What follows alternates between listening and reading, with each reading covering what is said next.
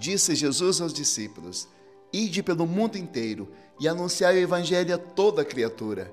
São Marcos, evangelista que celebramos hoje, afirma: Os discípulos então saíram e pregaram por toda parte.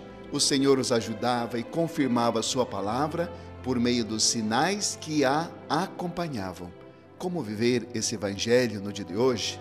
Junto da nossa gratidão por aqueles que nos evangelizaram, pais, padrinhos, avós, catequistas, religiosas, padres, vem a nossa responsabilidade, pois uma vez que fomos evangelizados, agora cabe a nós passar à frente esse presente divino.